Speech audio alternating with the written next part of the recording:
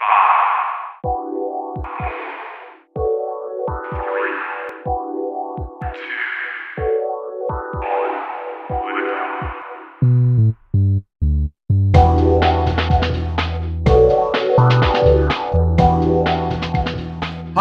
Cubmaster Patrick here from Pack 495 in the Chief Seattle Council. Today, we're going to look at how to build a Space Derby rocket, going from our Space Derby rocket kit all the way to our completed rocket and being ready for race day.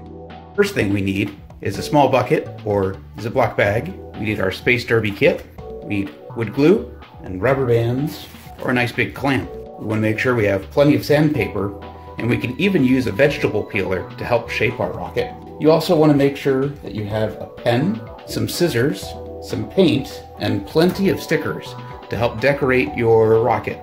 Inside of our Space Derby box, we have our two halves of our Space Derby rocket, our directions, our fins, our numbers, the portions of the propeller assembly, the hanger assembly for this, the truck, and our rubber bands, which help make things go.